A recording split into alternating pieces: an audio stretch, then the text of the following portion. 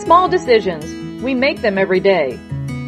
They seem just like little unimportant things, but the outcomes of these decisions could be huge. I make a decision to not answer a call and find out later that someone needed my help.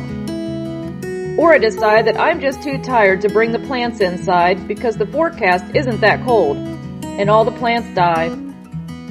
Seemingly small decisions with big consequences.